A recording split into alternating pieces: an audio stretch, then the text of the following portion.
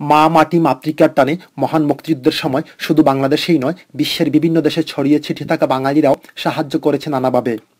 বাড়িয়ে দিয়েছে সহযোগিতার হাত।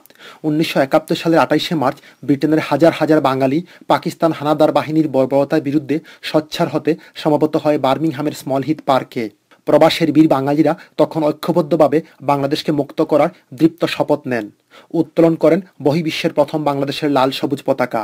বাঙালিদের পক্ষে পতাকা উত্তোলন করেন সেই সময়কার তরুণ মিসির আলী। সেই ঐতিহাসিক দিবসটিকে স্মরণীয় করে রাখতে বার্মিংহামের বাঙালিরা উদযাপন করে আসছে দিবসটি। আর এবার এই দিবসটি উদযাপন করতে বার্মিংহামের স্মল হিট পার্কে বৃহস্পতিবার সমবেত হন সেই সময়কার বীর বাঙালি আর মুক্তিযোদ্ধা ও সর্বস্তরের মানুষ। আটাইশে মার্চ উদযাপন অনুষ্ঠানে প্রধান অতিথি হিসাবে উপস্থিত হন চ্যানেল এস এর managing director Jamal Abdul Nasser. I'm honoured to be here today in Birmingham on the 28th of March to celebrate the flag that was first raised over here by Mr. Misir Ali on 28th of March 1971 and surrounded by some of those Muktijiddahs here today.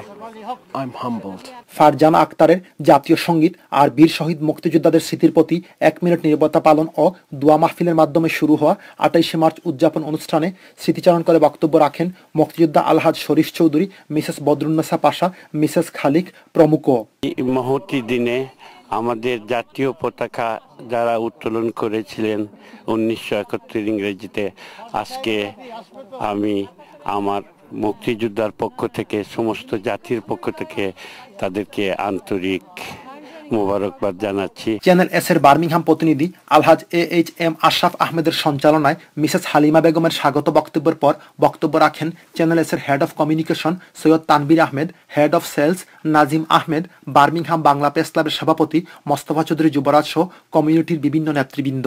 জাতীয় সঙ্গীতের মূর্ছনায় প্রতীকী পতাকা উত্তোলন করেন মিসির আলী। পরে ছোট বড় লাল সবুজ পতাকা হাতে জাতীয় সংগীত গেয়ে গিয়ে সকলে মুক্তিযোদ্ধাদের সাথে করে র্যালিতে অংশ নিয়ে স্মল হিট পার্ক প্রদক্ষিণ করেন।